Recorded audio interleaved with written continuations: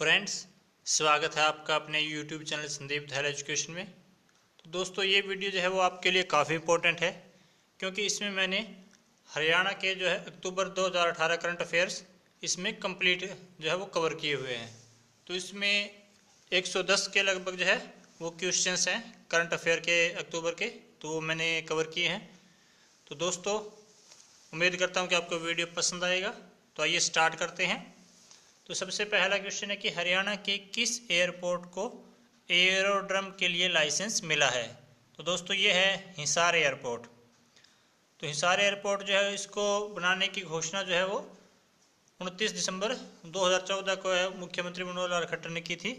और इसका उद्घाटन जो है, वो 15 अगस्त 2018 को अभी जो है, वो मुख्यमंत्री ने किया था।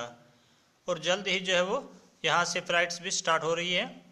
और हरियाणा को जो है ये पहला लाइसेंस्ड हवाई अड्डा जो है, ये मिलने जा रहा है। नेक्स्ट है कि स्वच्छता सर्वेक्षण ग्रामीण 2018 के तहत किस राज्य को सर्वोच्च राज्य का पुरस्कार प्रदान किया गया है? तो ये मिला है हरियाणा को, और प्रधानमंत्री नरेंद्र मोदी ने जो है वो हरियाणा को ये अवार्ड दिया है दिल्ली में आयोजित समारोह में। नेक्स्ट है कि स्वच्छ भारत ग्रामीण सर्वेक्षण 2018 में देश में सर्वोच्च स्थान के पुरस्कार प्राप्त करने वाले देश के छह जिलों में हरियाणा के कितने जिलों ने पुरस्कार प्राप्त किया है? तो इसमें हरियाणा के जो है वो तीन ज़िले हैं जिन्होंने पुरस्कार प्राप्त किया है। तो इसमें रेवाड़ी को दूसरा स्थान मिला है, गुरुग्राम को पाँचवा और करनाल को सातवां स्थान मिला है। तो इस लिस्ट में जो पहले नंबर पर है, वो है महाराष्ट्र का सतारा। नेक्स्ट है कि कोर्ट में दाखिल की जाने वाली याचिकाओं को दोनों ओर प्रिंटिंग की अनुमति देने वाला देश का पहला हाई कोर्ट कौन सा बना है? तो ये है Punjab Haryana high court next है कि हरियाणा कैडर के किस आईपीएस अधिकारी को सशस्त्र सीमा बल पुलिस का महानिदेशक नियुक्त किया गया है? तो दोस्तों ये हैं एस एस देसवाल, जो कि उन्नीस सौ चौरासी बैच के हरियाणा कैडर के आईएएस हैं, और ये जो है इकतीस अगस्त दो हज़ार इक्कीस तक इस पद पर रहेंगे। नेक्स्ट है कि हरियाणा सरकार कहाँ पर स्थित स्टेचू ऑफ़ यूनिटी के पास अपना हरियाणा भवन बनाएगी? तो ये बनाएगी गुजरात में। तो अभी स्टेचू ऑफ़ यूनिटी जो कि सरदार वल्लभ भाई पटेल की मूर्ति है तो उसका प्रधानमंत्री नरेंद्र मोदी जी ने भी अनावरण किया है। नेक्स्ट है कि प्रो कबड्डी लीग सिक्स के लिए हरियाणा स्टीलर्स ने अपना ब्रांड एम्बेसडर किसे बनाया है? तो दोस्तों, ये बनाया है योगेश्वर दत्त को। तो योगेश्वर दत्त जो है, वो 2012 लंदन ओलंपिक के कांस्य पदक विजेता रहे हैं और ये कुश्ती के खिलाड़ी हैं। नेक्स्ट है कि प्रो कबड्डी लीग 2018 के लिए हरियाणा स्टीलर्स ने अपना कप्तान किसे बनाया है? तो अभी जो है, मोनू गोयत हरियाणा स्टीलर्स के कप्तान हैं। तो मोनू गोयत जो है वो प्रो कबड्डी लीग सिक्स के सबसे महँगे खिलाड़ी हैं, जिनको हरियाणा स्टीलर्स ने एक पॉइंट इक्यावन करोड़ रुपए में खरीदा था। तो पहले जो है हरियाणा स्टीलर्स ने सुरेंद्र नाडा को कप्तान बनाया था, परंतु वो चोट के कारण बाहर हो गए। बाद में मोनू गोद को कप्तान बनाया है। तो फ्रेंड्स हर वीडियो की तरह आपके लिए भी दो क्वेश्चंस हैं, ताकि आप मुझे इनका आंसर दें और आपकी तैयारी का मुझे पता चलता रहे। तो पहला क्वेश्चन आपके लिए कि हरियाणा के कितने खिलाड़ियों को अर्जुन अवार्ड 2018 से सम्मानित किया गया है? आपके ऑप्शन है ए, दो, बी, पाँच, सी, सात या डी, आठ। तो इसका आंसर आप मुझे भी बताइएगा। और दूसरा क्वेश्चन है आपके लिए कि भारत का पहला और एकमात्र डिज़ाइन विश्वविद्यालय world university of design Haryana में कहाँ पर खोला गया है? इसमें आपके ऑप्शन है A, Karnal, B, Palwal C Sonipat या डी गुरुग्राम। तो इन दोनों क्वेश्चंस के आंसर आप मुझे अभी इस वीडियो के कमेंट बॉक्स में ज़रूर दें। और दोस्तों, अगर आपने मेरा चैनल सब्सक्राइब नहीं किया है तो चैनल को सब्सक्राइब करके बेल आइकन ज़रूर दबा लें, क्योंकि मैं जो है वो हर रोज़ एक नई वीडियो लेकर आता हूँ। और हरियाणा के करंट अफेयर्स हैं, वो मैंने जनवरी जो 2017 है, उससे लेकर और अब तक के मैंने इसमें कवर किए हुए हैं और आगे भी जो है वो करता रहता हूँ। तो इससे पिछली वीडियो में जो मैंने क्वेश्चन पूछे थे, उनके आंसर बता देता हूँ आपको कि हरियाणा बाल संरक्षण आयोग की अध्यक्ष कौन है? तो ज्योति बेंदा जो है वो हरियाणा बाल संरक्षण आयोग की अध्यक्ष है, जो कि हिसार से है। और नेक्स्ट दूसरा क्वेश्चन था कि एशिया की सबसे बड़ी प्लाईवुड मार्केट कहाँ पर है? तो दोस्तों, ये प्लाईवुड मार्केट जो है वो यमुनानगर में है, जो कि एशिया की सबसे बड़ी मार्केट है। तो करंट अफेयर के क्वेश्चन में नेक्स्ट क्वेश्चन है। कि हरियाणा पुलिस के महानिदेशक बी एस संधु का कार्यकाल कितने महीने और बढ़ा दिया गया है? तो दोस्तों, ये भी जो है तीन महीने और आगे बढ़ा दिया गया है। यानी कि अब जो है वो बी एस संधु इकतीस दिसंबर 2018 को रिटायरमेंट लेंगे। नेक्स्ट है कि हरियाणा के किस विश्वविद्यालय को देश का सबसे स्वच्छ सरकारी विश्वविद्यालय घोषित किया गया है? तो ये है महर्षि दयानंद विश्वविद्यालय, जो कि रोहतक में है। तो इसको जो है वो दूसरा स्थान मिला है देश में और पहले नंबर पर जो है वो है पंजाब का गुरु नानक देव विश्वविद्यालय। नेक्स्ट है कि देश में 400 से अधिक सेवाएँ एक जगह देने वाला पहला राज्य कौन सा बना है? तो ये है हरियाणा। तो हरियाणा में जो है वो विभिन्न जगहों पर 400 से अधिक सेवाएँ एक ही छत के नीचे दी जा रही है। नेक्स्ट है कि लगातार दूसरी बार हरियाणा का नंबर वन आवासीय विद्यालय किसे चुना गया है? तो ये है दोस्तों गुरुकुल, कुरुक्षेत्र गुरुकुल। इसको जो है वो नंबर वन चुना है। तो कुरुक्षेत्र गुरुकुल के संरक्षक जो है वो इस समय हिमाचल प्रदेश के राज्यपाल आचार्य देवव्रत हैं। नेक्स्ट है कि हरियाणा सरकार ने किस महान हस्ती के नाम पर सौर ऊर्जा पुरस्कार शुरू किया है? तो ये किया गया है कल्पना चावला के नाम पर। तो कल्पना चावला जो है वो हरियाणा की पहली अंतरिक्ष यात्री थी, जो कि करनाल से बिलोंग करती थी। नेक्स्ट है कि छत्रपति अवार्ड 2018 से किसे सम्मानित किया गया है? तो ये दिया गया है बलवंत तक्षक को। नेक्स्ट है, केंद्र सरकार ने गेहूँ के न्यूनतम समर्थन मूल्य में कितने रुपए की बढ़ोतरी की है? तो अभी जो है वो एक सौ रुपए की बढ़ोतरी की है। तो अब गेहूँ का जो है वो न्यूनतम समर्थन मूल्य अठारह रुपए हो गया है। नेक्स्ट है समर, स्वच्छ भारत समर इंटर्नशिप योजना के तहत हरियाणा के किस छात्र को राष्ट्रीय स्तर पर तृतीय पुरस्कार मिला है? तो दोस्तों ये दिया गया है सुशील कुमार को। इनको जो है वो केंद्रीय पेयजल एवं स्वच्छता मंत्री उमा भारती ने ये पुरस्कार नई दिल्ली में आयोजित समारोह में दिया था। नेक्स्ट है कि हरियाणा में किस ज़िले के गढ़ी हरसरू से लेकर फरूख नगर के लिए स्वच्छता ट्रेन की शुरुआत की गई है? तो ये की गई है, गुरुग्राम में है ये। तो इस ट्रेन में जो है वो उन्नीस के समय का जो आज़ाद नमक इंजन है, वो लगाया गया है। और ये ट्रेन पर्यटकों को जो है वो स्वच्छता के प्रति जागरूक करने के लिए चलाई गई है। नेक्स्ट है कि राजस्थान के चित्तौड़गढ़ में खेली गई अंडर तेईस राष्ट्रीय प्रथम कुश्ती प्रतियोगिता में कौन सा राज्य चैंपियन बना है? तो इसमें जो है वो हरियाणा चैंपियन बना है। तो हरियाणा ने जो है वो इस स्पर्धा में कुल पंद्रह जो है स्वर्ण पदक, दो रजत पदक और ग्यारह कांस्य पदक जीते हैं।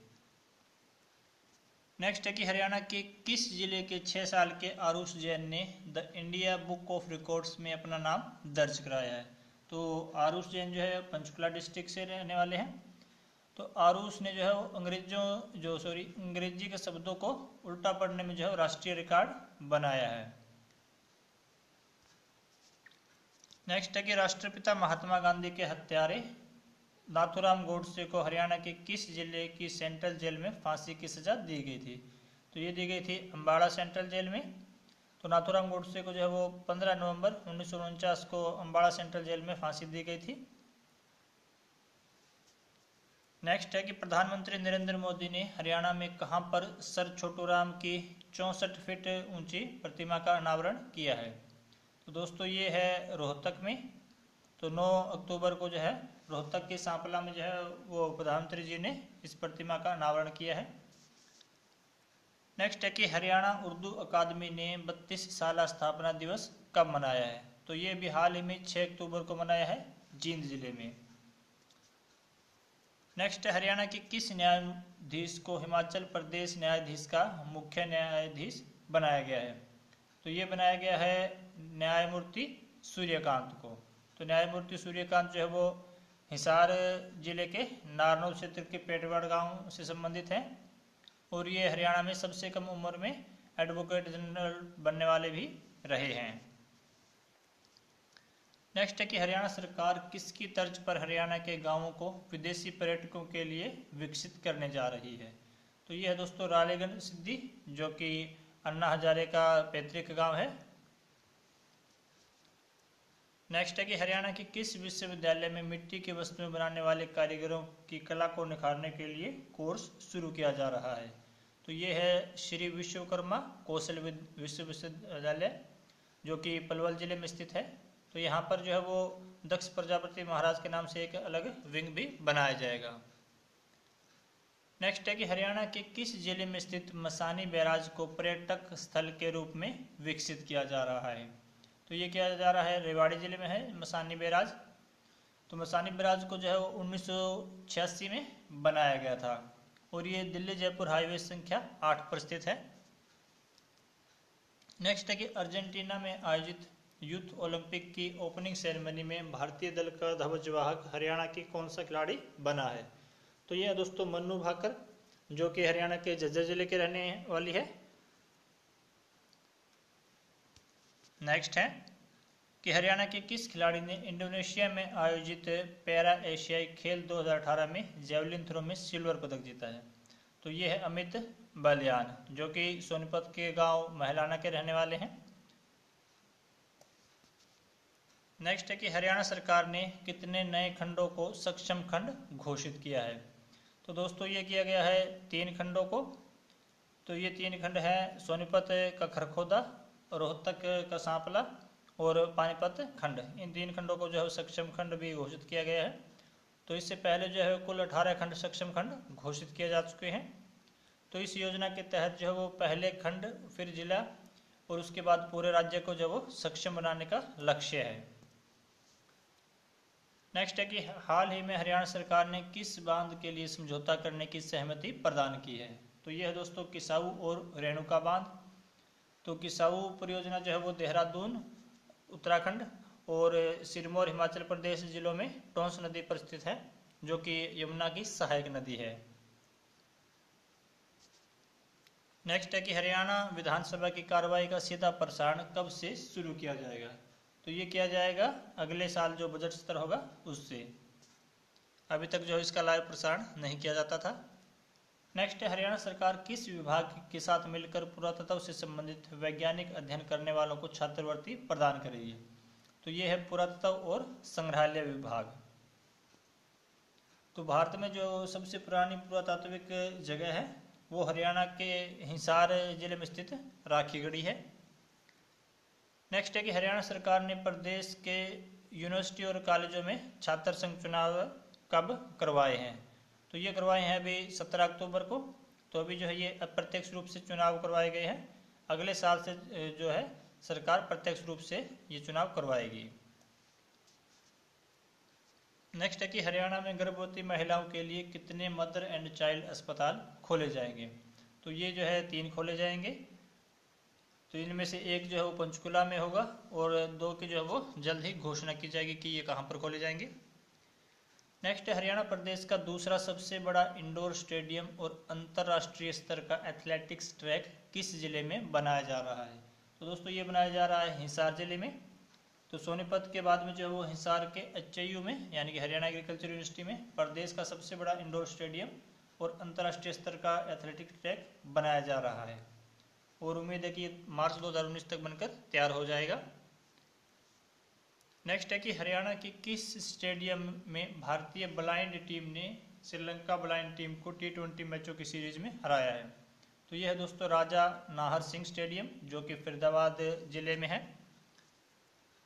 नेक्स्ट है धर्मनगरी कुरुक्षेत्र की 48 कोष की परिक्रमा में पड़ने वाले तीर्थ स्थलों के विकास एवं जीर्णोद्धार के लिए मुख्यमंत्री मनोहर लाल ने कितने करोड़ रुपए प्रदान किए हैं?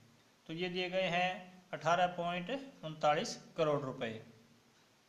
तो हरियाणा सरकार ने जो है वो कुरुक्षेत्र, करनाल, कैथल, पानीपत व जींद जिलों के महाभारत, रामायण व वामन पुराण में वर्णित जो एक सौ चौंतीस तीर्थ स्थल हैं, उनके जीर्णोद्धार के लिए ये राशि प्रदान की है। नेक्स्ट है कि हरियाणा में कहाँ पर आईओटी सेंटर ऑफ़ एक्सीलेंस की शुरुआत की गई है। तो ये की गई है दोस्तों गुरुग्राम में। तो इस प्रकार का जो पहला सेंटर जो है वो 2016 में बेंगलोर में शुरू किया गया था और जो गुरुग्राम में स्थापित होगा, वो दूसरा सेंटर होगा। नेक्स्ट है, हरे, हरेरा अपीलेट अथॉरिटी के चेयरमैन कौन है? तो जग दस, जो जस्टिस दर्शन सिंह है, वो हरेरा अपीलेट अथॉरिटी के चेयरमैन है। तो हरियाणा में जो है गुरुग्राम के लिए विशेष रूप से Haryana real estate regulatory authority यानी कि रेरा की एक अथॉरिटी बनाई गई है और शेष हरियाणा के लिए जो अथॉरिटी है वो पंचकुला में बनाई गई है। और इन दोनों जो अथॉरिटी है, इनका जो कोई अगर विवाद हो तो उसको सुलझाने के लिए एक अपीलेट ट्रिब्यूनल बनाया गया है, वो करनाल में बनाया गया है। नेक्स्ट है, मुख्यमंत्री मनोहर लाल खट्टर ने सांपला का नाम बदलकर क्या करने की घोषणा की है? तो ये की है छोटू रामनगर। तो अभी जो है 9 अक्टूबर को प्रधानमंत्री नरेंद्र मोदी ने रोहतक के सांपला में जो है वो चौधरी छोटू राम की चौंसठ फीट ऊँची प्रतिमा का अनावरण किया था और वहीं पर जो है वो मुख्यमंत्री मनोहर लाल खट्टर ने सांपला का नाम बदलकर छोटू रामनगर करने की घोषणा की थी। नेक्स्ट हरियाणा के किस ज़िले में world union of wholesale market conference यानी कि व्योम का आयोजन किया गया है? तो ये किया गया है गुरुग्राम में। अभी हाल ही में जो है वो 11 से 12 अक्टूबर तक इसका आयोजन किया गया है। तो भारत में जो है वो पहली बार world union of wholesale market का, जो सत्र, इसका आयोजन किया गया है। तो ये जो है कुल बत्तीसवां सम्मेलन था, जो कि व्योम का आयोजित किया गया है। नेक्स्ट है कि रोहतक में चौंसठ फीट ऊँची चौधरी छोटराम की प्रतिमा को किसने बनाया है। तो ये बनाया है रामवी सुतार ने। तो रामवी सुतार जो है वो पद्म भूषण विजेता है और ये जो है काफ़ी माहिर कलाकार हैं। नेक्स्ट है हरियाणा नस्ल की गाय ने कितने किलोग्राम दूध देकर इस तरह की देसी नस्ल की गाय में राष्ट्रीय रिकॉर्ड बनाया है?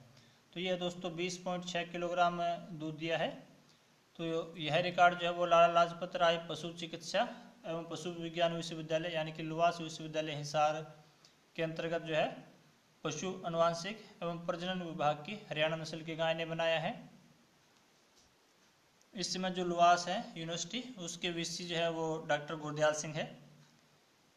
नेक्स्ट है कि प्रधानमंत्री नरेंद्र मोदी ने 9 अक्टूबर को कहाँ पर रेल कोच रिपेयर फैक्ट्री का शिलान्यास किया है। तो ये किया गया दोस्तों, गन्नौर में, जो कि सोनीपत डिस्ट्रिक्ट में है। तो ये लगभग एक सौ बहत्तर एकड़ में रेल कोच रिपेयर फैक्ट्री जो है बनाई जाएगी। नेक्स्ट क्वेश्चन है कि हरियाणा के किस किसान को इंडोनेशिया में आयोजित सम्मेलन में ग्रास रूट इनोवेशन श्रेणी के तहत पुरस्कार दिया गया है? तो ये दिया गया है कैथल के किसान हैं ईश्वर सिंह कुंडू। इनको दिया गया है ये सम्मान। तो उन्हें जो है वो चौवालीस लाख रुपए की नगद राशि भी दी गई है। नेक्स्ट है कि हरियाणा में कहाँ पर नीदरलैंड की तर्ज पर फूलों की मंडी जो है वो विकसित की जाएगी? तो ये की जाएगी गुरुग्राम में। अगला क्वेश्चन है कि हरियाणा में कहाँ पर 600 एकड़ में बड़ी मंडी विकसित की गई है? तो ये की गई है सोनीपत के गन्नौर में। नेक्स्ट है कि भाखड़ा बाँध का जन्मदाता किन्हें कहा जाता है? तो चौधरी छोटूराम जी को जो है वो भाखड़ा जन्मदाता का बाँध का जो जन्मदाता कहा जाता है और इनको जो है वो किसानों के मसीहा रहबर आज़म और दीनबंधु के नाम से भी जाना जाता है। नेक्स्ट है कि किस हरियाणवी निशानेबाज ने यूथ ओलंपिक गेम्स 2018 में वुमेन कैटेगरी के 10 मीटर एयर पिस्टल इवेंट में गोल्ड मेडल जीता है। तो ये जीता है दोस्तों मन्नू भाकर ने, जो कि झज्जर ज़िले के गुरिया गाँव के रहने वाली है। तो मनु भाकर ने जो है वो इससे पहले गोल्ड कोस्ट कॉमनवेल्थ गेम्स 2018 में भी स्वर्ण पदक जीता था।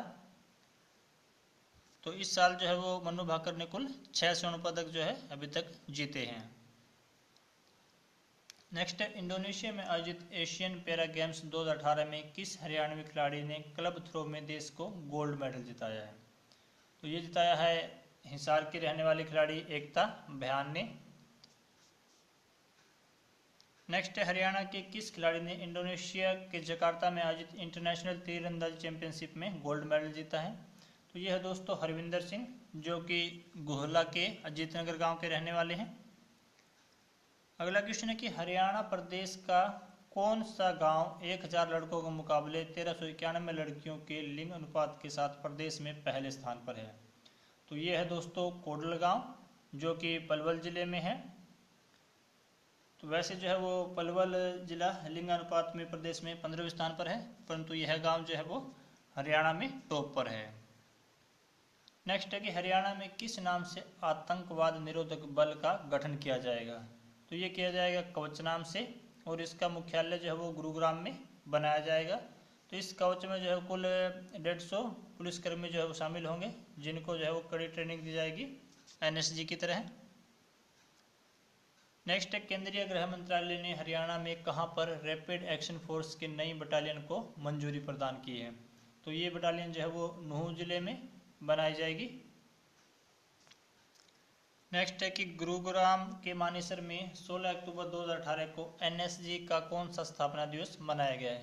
तो दोस्तों एनएसजी का जो है ये चौंतीसवां स्थापना दिवस मनाया गया है। तो इसमें जो है मुख्य अतिथि गृह मंत्री राजनाथ सिंह थे। तो एनएसजी की जो फुल फॉर्म है, वो है नेशनल सिक्योरिटी गार्ड ये जो है वो देश के सबसे जो है अच्छे जो जवानों में गिने जाते हैं और वी की सुरक्षा में यही तैनात होते हैं। नेक्स्ट है कि हरियाणा के किस ज़िले में करीब 100 एकड़ में फार्मा पार्क का निर्माण किया जाएगा? तो ये किया जा रहेगा करनाल में। अगला क्वेश्चन है कि हरियाणा में पिंजोर विरासत उत्सव 2018 का आयोजन कब किया गया है?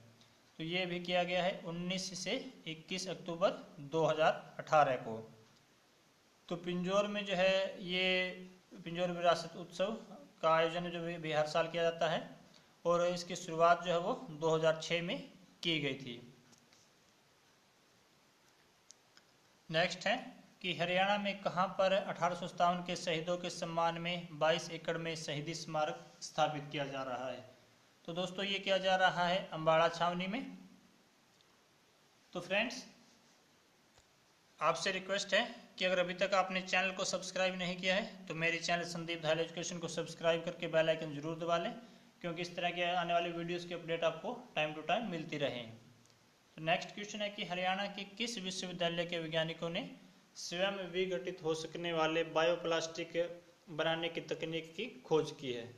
तो ये है हरियाणा कृषि विश्वविद्यालय, जो कि हिसार ज़िले में स्थित है। नेक्स्ट है कि हरियाणा सरकार द्वारा प्रदेश के लगभग कितने गाँवों में गोरोपट लगाए जा रहे हैं? तो दोस्तों, ये लगाए जा रहे हैं पैंसठ सौ गाँवों में। तो इन पर जो है, वो गाँव के जो प्रतिष्ठित प्रतिष्ठित जो खिलाड़ी हैं, जो दानवीर हैं, या स्वतंत्रता सेनानी, वीर सेनानी या शहीद हैं तो उनके जो है गौरव गाथा अंकित की गई है। नेक्स्ट हरियाणा का पहला सैनिक स्कूल किस ज़िले में शुरू किया गया था? तो ये किया गया था करनाल के कुंजपुरा में, जो कि 1961 में खोला गया था।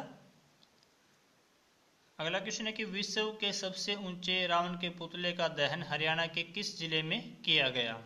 तो ये किया गया है पंचकुला ज़िले में तो इस, ये जो है 200 फीट 210 फीट ऊँचा जो है रावण का पुतला था। और ये जो है विश्व का सबसे ऊँचा जो है रावण का पुतला बताया गया है। नेक्स्ट है हरियाणा सिविल एविएशन विभाग के अंतर्गत हरियाणा में कितने फ्लाइंग क्लब मौजूद हैं? तो इसमें जो तीन फ्लाइंग क्लब है, जो कि हिसार, करनाल और पिंजौर में है। नेक्स्ट है कि वर्तमान में हरियाणा में कुल कितने राष्ट्रीय राजमार्ग हैं? तो इसमें जो है कुल तीस राष्ट्रीय राजमार्ग हैं, जो लगभग जो है छब्बीस सौ पचपन किलोमीटर जो है लंबाई तक फैले हुए हैं। नेक्स्ट है हरियाणा के मुख्यमंत्री मनोहर लाल खट्टर ने किस विभाग द्वारा तैयार की गई विकास गीत की सीडी को गुरुग्राम से लॉन्च किया है? तो ये सीडी तैयार की गई है सूचना जनसंपर्क एवं भाषा विभाग हरियाणा। तो यह हरियाणवी गीत जो है वो सोमवीर कुठरवाल ने गाया है। नेक्स्ट है, हरियाणा में 14 अक्टूबर को राज्य स्तरीय नंबरदार सम्मेलन किस ज़िले में आयोजित किया गया? तो ये किया गया है हिसार ज़िले में। तो हिसार ज़िले के महावीर स्टेडियम में इसका आयोजन किया गया और मुख्यमंत्री मनोहर लाल खट्टर इसमें मुख्य अतिथि के रूप में शामिल हुए थे। तो इसमें लगभग जो है वो बीस हज़ार नंबरदारों ने भाग लिया था। और नंबरदारों के लिए घोषणा की गई थी कि उनका वेतन जो है वो पंद्रह सौ से रुपये से बढ़ाकर तीन हज़ार रुपये किया गया है। नेक्स्ट है हरियाणा डेयरी विकास प्रसंग के चेयरमैन कौन है? तो ये है दोस्तों जी एल शर्मा। नेक्स्ट है कि राजकुमार सैनी ने हरियाणा में किस नाम से अपनी पार्टी बनाई है? तो ये बनाई है लोकतंत्र सुरक्षा मंच। तो राजकुमार सैनी जो है वो भाजपा से, से है। परंतु अभी जो इन्होंने अपनी नई पार्टी बनाई है। नेक्स्ट है बाबा मस्तनाथ यूनिवर्सिटी हरियाणा के किस ज़िले में है? तो ये यूनिवर्सिटी है रोहतक ज़िले में और इसमें इसके चांसलर जो है वो है महंत बालकनाथ जी होगी। नेक्स्ट है वेयर हाउसिंग कॉरपोरेशन के चेयरमैन कौन है? तो हरियाणा वेयर हाउसिंग कॉरपोरेशन के चेयरमैन श्रीनिवास गोयल हैं। अगला क्वेश्चन है कि हरियाणा की किस बेटी ने मिस डेफ एशिया 2018 का खिताब जीता है। तो ये जीता है निष्ठा डुडेजा ने। तो निष्ठा डुडेजा जो है, वो पानीपत की रहने वाली तेईस वर्षीय बेटी है और इन्होंने चेक गणराज्य में जो आयोजित हुई थी अठारहवीं मिस डेफ वर्ल्ड 2018 प्रतियोगिता तो उसमें जो है वो 45 देशों के प्रतिभागियों को जो है, वो पीछे छोड़कर यह किताब जीता है। नेक्स्ट है कि अनिता कुंडू ने दक्षिण अफ्रीका की किस सबसे ऊँची चोटी पर तिरंगा फहराया है? तो ये है किले मंजारो। तो यहाँ पर जो है वो 22 अक्टूबर 2018 को अनिता कुंडू ने तिरंगा फहराया है। तो अनिता कुंडू जो है वो फरीदपुर की रहने वाली है और अनिता कुंडू माउंट एवरेस्ट को जो है वो नेपाल और चीन दोनों तरफ़ से फतेह करने वाली देश की पहली महिला भी रह चुकी है। नेक्स्ट है कि हरियाणवी पहलवान बजरंग पुनिया ने वर्ल्ड रेसलिंग चैंपियनशिप 2018 में कौन सा पदक जीता है? तो ये जीता है रजत पदक। तो बजरंग पुनिया जो है वो सोनीपत ज़िले के रहने वाले हैं। तो इन्होंने जो है पैंसठ किलोग्राम भार वर्ग फ्री स्टाइल कुश्ती चैंपियनशिप में रजत पदक जीता है। तो बजरंग पूनिया जो है वो वर्ल्ड टूर्नामेंट में दो मेडल जीतने वाले भारत के पहले खिलाड़ी भी इसके साथ ही बन गए हैं। तो इससे पहले बजरंग पूनिया ने 2013 में कांस्य पदक जीता था।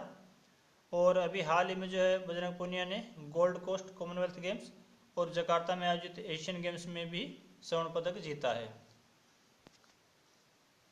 नेक्स्ट है कि देश का सबसे बड़ा 30 फीट ऊँचा अशोक चक्कर हरियाणा के किस ज़िले में स्थापित किया गया है? तो दोस्तों, ये किया गया है यमुनानगर में। तो यमुनानगर के टोपरा कला गाँव के एडिक्ट पार्क में तीस फीट ऊँचा ये शोक चक्कर स्थापित किया गया है। नेक्स्ट है कि देश भर की बावन शक्तिपीठों में से हरियाणा की एकमात्र शक्तिपीठ भद्रकाली मंदिर किस ज़िले में स्थित है? तो यह है कुरुक्षेत्र ज़िले में। तो श्री देवी कूप भद्रकाली शक्तिपीठ का इतिहास जो है वो दक्ष कुमारी सदी से भी जुड़ा हुआ है। नेक्स्ट है, वामन पुराण और ब्रह्म पुराण इत्यादि ग्रंथों में कुरुक्षेत्र के संदर्भ में कितने कूपों का वर्णन किया गया है? तो यह किया गया है चार कूपों का, जो कि चंद्रकूप, विष्णुकूप, रुद्रकूप और देवीकूप है। नेक्स्ट है किस हरियाणवी कोच को पावर लिफ्टिंग खेल में अहम योगदान देने के लिए दुबई में हॉल ऑफ़ फेम पुरस्कार से नवाजा गया है। तो ये है पूरण सिंह कादियान, जो कि मूल रूप से बेरी के दुल बदन गाँव के रहने वाले हैं और इसमें जो ये बहादुरगढ़ में रह रहे हैं। तो ये अवार्ड जो है वो पावर लिफ्टिंग खेलों में दिया जाने वाला सबसे बड़ा पुरस्कार है। तो ये भी दिया गया है पूर्ण सिंह कादियान को, जो कि अंतर्राष्ट्रीय खिलाड़ी और पावर लिफ्टिंग कोच रहे हैं। नेक्स्ट देश का पहला राज्य कौन सा है जिसकी सभी पालिकाओं का ड्रोन सर्वे करवाया जा रहा है? तो ये दोस्तों हरियाणा। तो हरियाणा में जो है वो अभी स्थानीय शहरी निकाय क्षेत्रों में संपत्तियों को जो है वो जियो मैपिंग सर्वे करवाया जा रहा है और इसकी शुरुआत जो है वो अभी हो चुकी है। तो इस समय हरियाणा में जो है वो कुल दस नगर निगम है, अठारह नगर परिषद हैं और तिरपन नगर पालिकाएँ हैं। नेक्स्ट है, भारतीय पुरातत्व सर्वेक्षण विभाग हरियाणा के किस ज़िले में स्थित लाट की मस्जिद का सौंदर्यकरण करवाएगा? तो लाट की मस्जिद जो है वो हिसार ज़िले में स्थित है और ये जो है कुल तेरह पॉइंट पचहत्तर मीटर ऊँची है। तो इसको जो है वो सम्राट अशोक ने हिसार ज़िले के अग्रवाह में स्थापित करवाया था। परंतु बाद में जो है वो फिरोज शाह तुगलक ने तेरह में जब हिसार की स्थापना की थी तो इसको जो है हिसार के फिरोज शाह महल में स्थापित करवा दिया था। नेक्स्ट, हरियाणा के किस ज़िले में जीएसटी अपीलेट ट्रिब्यूनल की बेंच का गठन किया जाएगा? तो ये किया जाएगा हिसार ज़िले में। नेक्स्ट हरियाणा के खिलाड़ी आकाश मलिक ने यूथ ओलंपिक गेम्स 2018 में तीरंदाजी में कौन सा पदक जीता है? तो इसमें आकाश मलिक ने रजत पदक जीता है। तो आकाश मलिक जो है वो पंद्रह वर्षीय खिलाड़ी हैं, जो कि हिसार ज़िले के उमरा गाँव के रहने वाले हैं। तो आकाश मलिक तीरंदाजी में रजत पदक जीतने वाले देश के पहले युवा खिलाड़ी बन गए हैं। नेक्स्ट हरियाणा के किस ज़िले में स्थित कर्ण पार्क का जीर्णोद्धार किया गया है? तो दोस्तों, कर्ण पार्क जो है, ये करनाल में है और ये लगभग साढ़े चार एकड़ में फैला हुआ है। नेक्स्ट हरियाणा के सबसे बड़े निशान साहिब की स्थापना किस ज़िले के गुरुद्वारे में की गई है? तो ये की गई है हिसार ज़िले में गुरुद्वारा जो है, उसमें। तो ये जो निशान साहिब है, इसकी कुल ऊंचाई 175 फीट है। तो हिसार में जो गुरुद्वारा है, वो 31 अक्टूबर 1925 को बनाया गया था। नेक्स्ट है, हरियाणा में राष्ट्रीय पुलिस दिवस कब मनाया गया है? तो ये अभी हाल ही में मनाया गया है 21 अक्टूबर को। अगला क्वेश्चन है कि हरियाणा में शहीद पुलिसकर्मियों के बच्चों को पुलिस पब्लिक स्कूलों में किस कक्षा तक मुफ़्त शिक्षा प्रदान की जाएगी? तो ये की जाएगी बारहवीं कक्षा तक। नेक्स्ट है कि दिल्ली में आज़ाद हिंद फौज की स्थापना की पिचहत्तरवीं वर्षगांठ पर हरियाणा के किस हरियाणवी को विशेष रूप से आमंत्रित किया गया? तो ये है दोस्तों ललती राम जो कि झज्जर ज़िले के दुलबदन गाँव के रहने वाले हैं। और ये जो है वो इंडियन नेशनल आर्मी के सिपाही रहे हैं। नेक्स्ट इस्माइलाबाद से नारनौल तक 230 किलोमीटर लंबा कितनी लेन का हाईवे बनाया जा रहा है? तो ये जो है वो आठ लेन हाईवे बनाया जा रहा है। नेक्स्ट है कि 26 से 29 अक्टूबर तक रत्नावली महोत्सव का आयोजन हरियाणा के किस ज़िले में किया गया है? तो रत्नावली महोत्सव का आयोजन जो है वो कुरुक्षेत्र विश्वविद्यालय कुरुक्षेत्र में किया गया है। तो इसमें लगभग जो है वो तैंतीस विधायक थी, जिनमें लगभग पैंतीस कलाकारों ने भाग लिया था। तो कुरुक्षेत्र यूनिवर्सिटी जो है वो पिछले चौंतीस सालों से रत्नावली महोत्सव का जो है वो आयोजन कर रही है। और इसमें हरियाणा के राज्यपाल सत्यदेव नारायण आर्य ने मुख्य अतिथि के रूप में भाग लिया था। नेक्स्ट है कि हरियाणा की पहली व देश की तीसरी महिला असिस्टेंट कमांडेंट कौन बनी है? तो ये है दोस्तों सौम्या, जो कि सोनीपत की रहने वाली है। नेक्स्ट है doctor Mangal Sen elevated road, Haryana के किस ज़िले में बनाया गया है? तो ये बनाया गया है रोहतक ज़िले में और इसका उद्घाटन जो है वो अभी हाल ही में सताईस अक्टूबर को मुख्यमंत्री मनोहर लाल खट्टर ने किया था। नेक्स्ट है, हरियाणा रोडवेज़ की पहली महिला कंडक्टर कौन बनी है? तो ये है दोस्तों शर्मिला, जो कि रेवाड़ी के गाँव घुड़कावास है, वहाँ के रहने वाली है। तो ये हरियाणा रोडवेज़ की पहली महिला कंडक्टर बनी है। नेक्स्ट है कि हरियाणा के किस ज़िले की नियामक कौर ने एशियन इंडोर रोइंग गेम्स में गोल्ड मेडल जीता है? तो नियामक कौर जो है वो पंचकुला के रहने वाली है। तो ये इन्होंने रोइंग गेम्स में गोल्ड मेडल जीता है। नेक्स्ट है, मुख्यमंत्री मनोहर लाल ने किस ज़िले से हरियाणा फ़िल्म पॉलिसी का उद्घाटन किया है? तो ये किया है गुरुग्राम से अभी 26 अक्टूबर को जो है वो मुख्यमंत्री जी ने प्रदेश की पहली फ़िल्म पॉलिसी को जो है गुरुग्राम से लॉन्च किया है। नेक्स्ट, हरियाणा प्रदेश में सरदार वल्लभ भाई पटेल की जयंती का राज्य स्तरीय समारोह किस ज़िले में आयोजित किया गया? तो दोस्तों, ये किया गया है अभी इकतीस अक्टूबर को सिरसा ज़िले में। तो यहाँ पर मुख्यमंत्री मनोहर लाल खट्टर ने जो है मुख्य अतिथि के रूप में भाग लिया था। नेक्स्ट है कि हरियाणा के किस पहलवान ने सीनियर विश्व कुश्ती चैंपियनशिप में कांस्य पदक जीता है? तो ये जीता है पूजा ढांडा ने, जो कि हिसार ज़िले के रहने वाली हैं। इन्होंने सतावन किलोग्राम भार वर्ग में इस चैंपियनशिप में जो है वो कांस्य पदक जीता है। तो पूजा ढांडा जो है वो हिसार के गाँव बुडाना की जो है वो रहने वाली है। और इन्होंने जो है वो 2018 के जो गोल्ड कोस्ट में आयोजित कॉमनवेल्थ गेम्स हुए थे, उसमें भी रजत पदक जीता था। नेक्स्ट है कि अब तक हरियाणा के कितने जिलों में वन स्टॉप केंद्र यानी कि स्की की जो स्थापना की गई है? तो ये की गई है सात जिलों में। तो ये सात ज़िले हैं, करनाल, फरीदाबाद, गुरुग्राम, हिसार, रेवाड़ी, भिवानी और नारनौल। नेक्स्ट है कि कृषि एवं किसान कल्याण विभाग हरियाणा के निदेशक कौन हैं? तो ये है दोस्तों डी के बेहरा। नेक्स्ट है एशिया की सबसे बड़ी प्लाईवुड मार्केट कहाँ पर स्थित है? तो ये है यमुनानगर में। नेक्स्ट है हरियाणा के किस ज़िले की मंजरी नेहरू को पंजाब हरियाणा हाई कोर्ट की जज बनाया गया है? तो मंजरी नेहरू कोल जो है वो अम्बाड़ा ज़िले के रहने वाली हैं। नेक्स्ट है, हाल ही में पंजाब हरियाणा हाई कोर्ट में कितने जजों की नियुक्ति की गई है? तो ये की गई है चार जजों की। तो ये चार जज हैं न्यायाधीश मंजरी नेहरू कोल, न्यायाधीश हरसिमरन सिंह सेठी, न्यायमूर्ति अरुण मोंगा और न्यायमूर्ति मनोज बजाज। नेक्स्ट है कि चार जजों के शपथ ग्रहण के बाद अब हरियाणा पंजाब हाई कोर्ट में जजों की कुल संख्या कितनी हो गई है?